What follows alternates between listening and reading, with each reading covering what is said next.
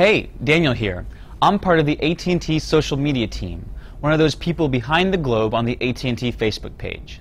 Okay, so today I'm going to help first-time AT&T customers understand the steps for opening an account and signing up for iPhone 4. Best way to start, head into a store and open an account.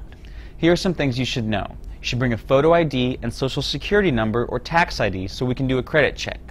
You may need to pay a deposit depending on that credit check.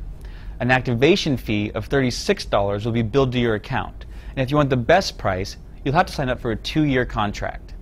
If you want to transfer your current phone number, you'll need to bring your account information from your current service provider.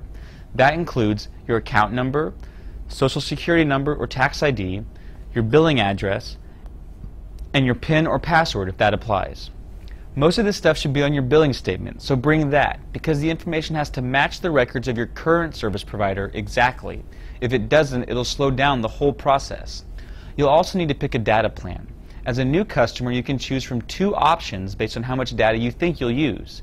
Data Plus gives you 200 megabytes a month for $15, or Data Pro, where you get 2 gigabytes a month for $25.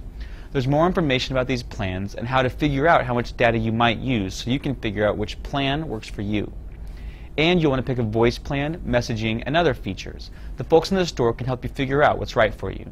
So keep an eye on the Facebook page over the next few days for more information on iPhone 4. And as always, when we have news to share, you guys will be the first to know.